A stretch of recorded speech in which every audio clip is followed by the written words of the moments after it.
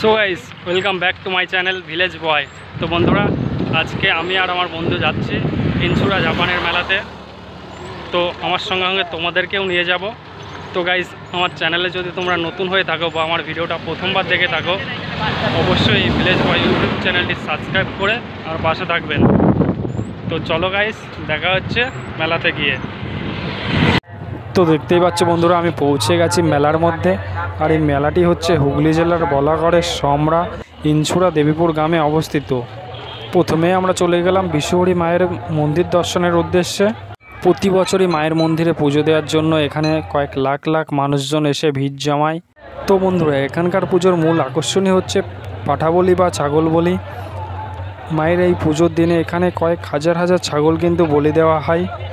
তো দেখতেই পাচ্ছ পুণ্যার্থীরা তাদের ছাগলগুলোকে পুকুরে চান করিয়ে নিয়ে মায়ের মন্দিরের উদ্দেশ্যে রওনা দিচ্ছে পুজো দেওয়ার জন্য তারপরে আমরা চলে আসলাম ছাগলগুলোকে যেখানে বলি দেওয়া হচ্ছে সেখানটায় তো সেখানে এসে দেখছি প্রচণ্ড মানুষের ভিড় তো এই বলি দেওয়া কিন্তু সকাল ছটার থেকে একদম পুরো সন্ধে পর্যন্ত চলে है सुना ये पूरी धरती तू चलाता है मेरी भी सुन ले अरज मुझे घर बुलाता है भगवान है कहाँ रे तू है खुदा তো তারপরে চলে এলাম মেলার মধ্যে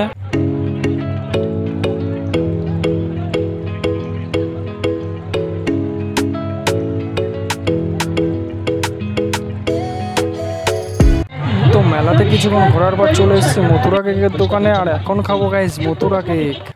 তো কেকটা ভেঙে মুখে দিতেই মনটা পুরো খুশিতে ভরে গেল। তো গাইস এই মেলার আরেকটি আকর্ষণ হচ্ছে এখানকার শোভাযাত্রা। তো সেটাই আমি এখন তোমাদের দেখাতে চলেছি।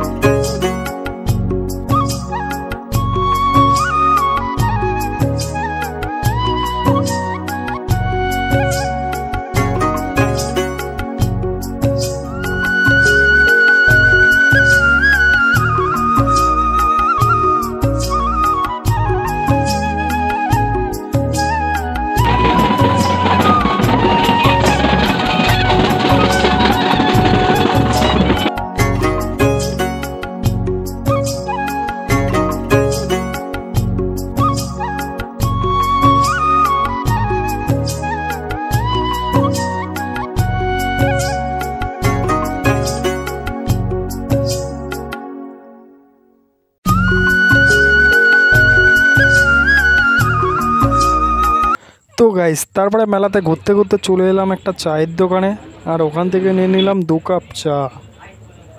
তো গাইস আজকের ভিডিওটা আমি আর বেশি বড় করতে চাই না। তো বন্ধুরা, তোমরা যারা আমার ভিডিওটা দেখছ, তোমাদেরকে এটাই বলার, তোমরা যদি আমার চ্যানেলে নতুন হয়ে থাকো বা আমার ভিডিওটা প্রথমবার দেখে থাকো, অবশ্যই এই চ্যানেলটি সাবস্ক্রাইব করে নিও। আর এই ভিডিওটা কেমন হয়েছে, অবশ্যই লাইক এবং কমেন্ট করে জানিও। তো দেখা হচ্ছে পরবর্তী ভিডিওতে।